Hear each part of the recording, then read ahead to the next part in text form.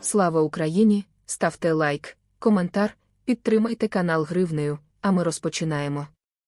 Канадський виробник броньованих автомобілів Рошел збільшив темпи виробництва своєї продукції, щоб забезпечити безперебійне постачання техніки. Про це повідомляє головний редактор видання Defense Block на своїй сторінці у. Так, за його словами, канадський виробник Рошел наразі розвинув виробничі потужності для виробництва 120 бронеавтомобілів на місяць.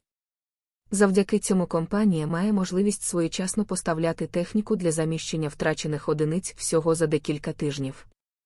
Високі темпи виробництва також демонструються під час постачання броньованих машин Сенатор до України, де їх використовують прикордонники та Збройні сили України. У кінці грудня 2023 року компанія Рошал повідомила, що передала Україні тисячний броньований автомобіль Сенатор після початку повномасштабного вторгнення Російської Федерації в Україну. Тоді засновник і генеральний директор компанії Роман Шимонов привітав працівників компанії з цим досягненням.